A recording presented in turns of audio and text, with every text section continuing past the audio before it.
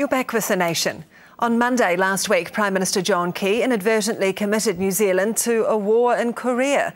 By Tuesday, he'd pulled back again. He downplayed his comments by saying it would have to be an extreme situation for New Zealand to get involved in any conflict there. At this stage, all international efforts are focused on persuading Pyongyang to back down from its so called belligerent behaviour. My next guests have all had some experience with North Korea. Professor Insoo Park, who was born in South Korea and is a member of the Korean Society of New Zealand, joins us. Uh, Ming Huang is a professor of international relations at Victoria University. Thank you both for joining us. In Wellington, Associate Professor Stephen Epstein from Victoria University, who has studied contemporary Korean culture and in Christchurch, astronomy professor John Hearnshaw, who spent time in North Korea last year. Welcome to you all. Thank you for joining us this morning. Professor Huang, if I can start with you, can you put in context for us a little bit our relationship with both North and South Korea? Yeah, well, New Zealand uh, relation with um, has both relation with North and South Korea, and they're actually quite unique. And so, and I think. Uh, uh, the crisis we see now uh, in terms of nuclear uh, crisis in, in, the, uh, in, in the behavior of North Korea, and I think it put this in, in, in, in a challenge for uh, New Zealand. I mean, in some way, uh, in a piece you mentioned that you know, John Key was asked about you know, how he might actually yes. take action if something happened. This is actually the broad picture that we have a quite um, in fact, the John Key is in China now, have good relation with China and, you know, economic relations and, and broad uh, diplomatic relations. And that question has become important in the sense that uh, um, uh, uh, our relation with China will have impact in terms of how we do things in the region and in countries. So we have to be aware of our relationship with, China when it comes yes. to the rhetoric. Okay, Associate Professor Stephen Epstein, what are we dealing with here when we're dealing with North Korea? Well, we're dealing with a regime that is uh, feels embattled and is trying to get the attention of the world and finds that the best way to do that and to try and wring concessions and to further its interests is through blackmail. And it has often attempted to provoke the world, to provoke its neighbors, South Korea, Japan, the United States, with outrageous statements and will often, uh, we've seen this as a repeating pattern, that it will ratchet up the tension and then at some point when it sees that it's to its interests to try to start up negotiations again, will pull back. And I suspect that we're going to see something like that in this case as well. But the rhetoric has been much more violent this time than ever before. Indeed, Professor John Hearnshaw, do you agree? Has um, North Korea become something of uh, the Iran, if you like, of Asia? Well, uh, yes, I think um, that's true, and it's very unfortunate that they're following this path. The thing I want to emphasize um, from the experience of my visit is actually North Koreans are just normal people. They're very warm hearted, fun loving people, and very dynamic and cultured people, well educated. And the picture we have of North Korea is very different uh, in the Western media. So uh, if you actually go there and meet the people, they, there are 24 million people in North Korea, and they don't want to be in this situation, and they want to break out of this uh, impossible uh, hole they find themselves in and do something. But I have to say that the military way out is actually not going to work. The way to uh, get out of this situation is to have contacts with um, other countries, uh, friendly contacts and exchanges, and that's not, not what is happening now. Professor Insoo Park, how would the Korean community here in New Zealand, do you think, like to see our government approach the situation in Korea? Yes.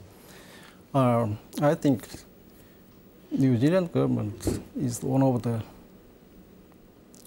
countries which have diplomatic relations both with South Korea and North Korea. So it is possible at this moment, uh, New Zealand government can send their diplomatic envoy to Seoul and Pyongyang to ease the tensions. You think that we should send a diplomatic envoy there to help? Yes, I think so. Have you had any contact with anyone in Korea at the moment? Have you had any feedback from people at home on how they view the situation at the moment? No, uh, generally speaking, many Korean community in Auckland and throughout the nationwide in New Zealand, many they have many friends and relatives in Korea. They are very worried about the situation that is currently provoked by North Korea to other governments near around South Korea, including South Korea, Japan, and the United States, and so on. Professor Epstein, why do you think we've seen this change? You know, we have new leadership in North Korea, but why suddenly has this rhetoric changed, do you think, and now this posturing is taking place? Oh, well, you're right to point to the change in leadership there, but we're seeing changes in leadership in a variety of ways. For one thing, South Korea has a new president who was just uh, inaugurated in, in February.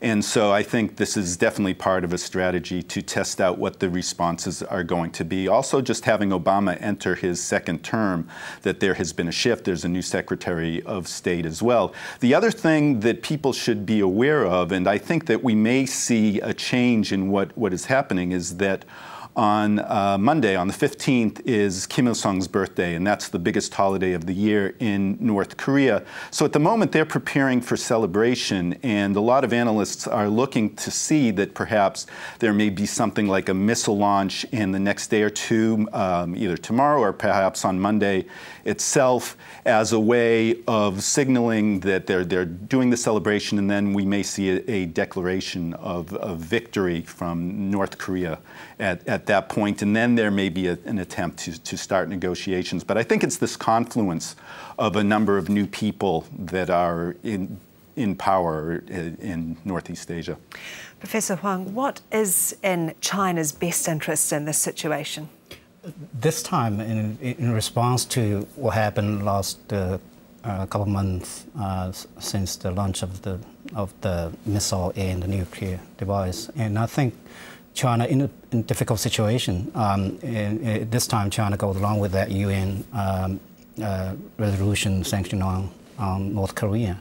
But I think, uh, I mean, in terms of looking at the uh, North Korea and why they behave the way they behave, I mean, I think there certainly is internal politics that new leadership need to establish and consolidate its, uh, its position but also in terms of that issue itself, long history, 10 years from 1991, you know, on and off, part of, part of that long pattern. And so, and also the broader regional um, dynamics uh, country involved.